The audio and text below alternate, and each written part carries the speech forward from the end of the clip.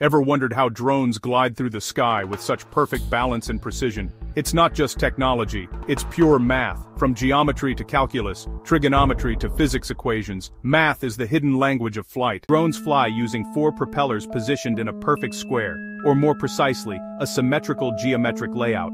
This shape helps distribute thrust evenly, keeping the drone stable in all directions. Drones use angles, yes, those same ones you learned in school, to calculate pitch, roll, and yaw. For example, to tilt forward, the drone adjusts its front and back propellers using sine and cosine functions to balance vertical and horizontal forces.